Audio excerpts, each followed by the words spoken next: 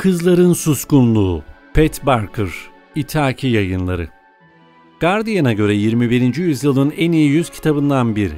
Women's Prize ve Costa Kitap Ödülleri en iyi roman adayı. NPR, Washington Post, Financial Times ve The Economist'e göre yılın en iyi kitaplarından. Onu görmeden önce sesini duydum. Çığlığı surlarımızın içinde yankılanıyordu. Tanımak için onu görmenize gerek yoktu. Şanı savaşacağı yerlere önceden gelirdi. Yüce ve zeki Akileus, tanrılara benzeyen Akileus. Ondan bahsederken bu isimlerin hiçbirini kullanmazdık. Kasap derdik biz ona.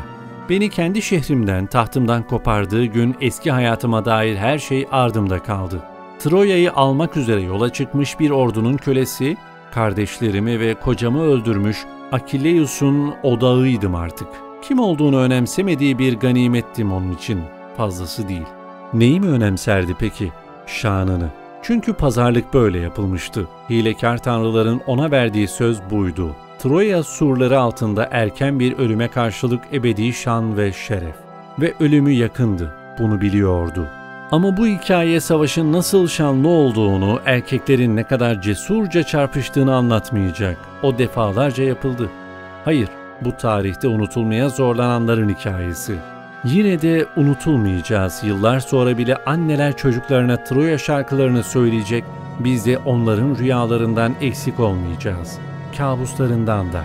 Kızların suskunluğunda Pet Barker, Troya Savaşı'nı Akileus, Odysseus ve Agamemnon gibi intikam peşindeki erkeklerin değil, onların gölgesinde kalan bir kadın olan Briseis'in gözünden anlatıyor ve İlyada destanına yepyeni bir bakış açısı getiriyor. Kızların suskunluğu, savaşa ve ardında bıraktıklarına dair şahane, baş kaldıran ve tüyler ürperten bir roman.